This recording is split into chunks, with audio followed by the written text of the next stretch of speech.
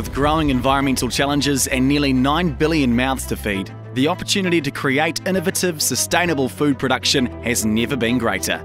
Lincoln University's new Master of Environment and Agriculture will equip you to lead transformational change in the agricultural sector.